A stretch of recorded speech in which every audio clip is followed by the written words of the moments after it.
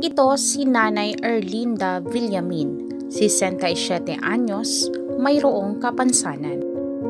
At ang araw-araw na pagsubok ay mag-isang pinapasan. Salatman sa maraming bagay ay pinipilit pa rin na mabuhay. Labing isang taon na ang nakakaraan mula nang hindi makalakad si Nanay Erlinda na nagsimula lamang sa pananakit ng mga binti at paa kung saan saan na nagpagamot maging sa albularyo hanggang sa isang ospital kung saan siya nagpatingin ay tinurukan anya siya ng gamot sa bahagi ng kanyang spinal cord na pinaniniwalaan niyang ito ang nagpahina sa kanya at naging sanhi upang tuluyan ng hindi makalakad. Sa kabila ng limitadong paggalaw ay mag-isang kinakaya ang araw-araw. Madalas, kung kinakailangan niyang magbanyo at kumain, ay tumatawag sa kapitbahay.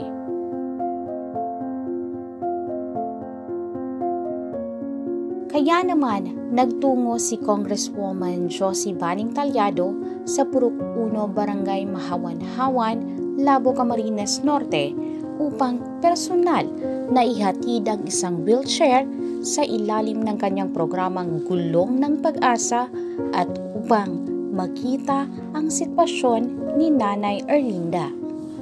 Bukod sa kawalan ng nag-aaruga sa mayroong kapansanan na matanda, ay labis pang nasakta ng damdamin ng congresswoman nang makita ang kanyang tahanan. Dahil dito, bukod sa binigay na gulong ng pag-asa kay Nanay Erlinda, ay hindi nag-atubili si Congresswoman Josie na ipagkaloob rin sa kanya ang bagong bahay. Kaya nangako si Congresswoman Josie na ipapaayos ang kanyang tahanan. Hindi na ikubli ang tuwas sa mga mata ni Nanay Erlinda nang sumakay sa wheelchair at lumabas ng bahay upang makita ang ganda ng kapaligiran.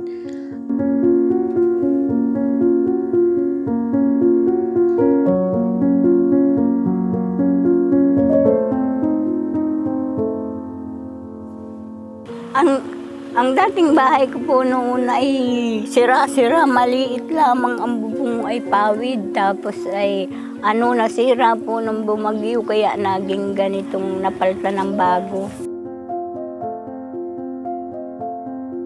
Sa loob lamang ng sampung araw ay naayos na ang tahanan ni Nanay Erlinda.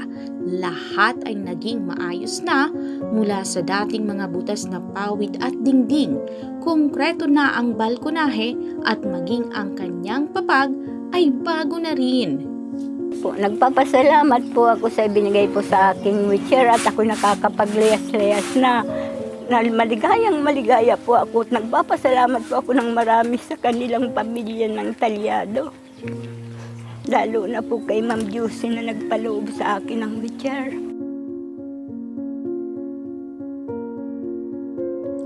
Samantala, si Nanay Erlinda Villamin ay nagkaroon ng bagong pag-asa dahil sa mga biyaya na natanggap mula kay Congresswoman Josie Talyado. Ang kanyang walang humpay at lubos na pasasalamat para rito.